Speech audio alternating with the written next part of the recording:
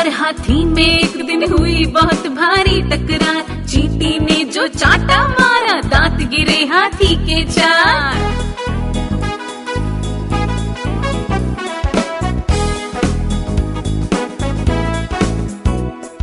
चीटी और हाथी में एक दिन हुई बहुत भारी टकरार। चीटी ने जो चाटा मारा, दांत गिरे हाथी के चार।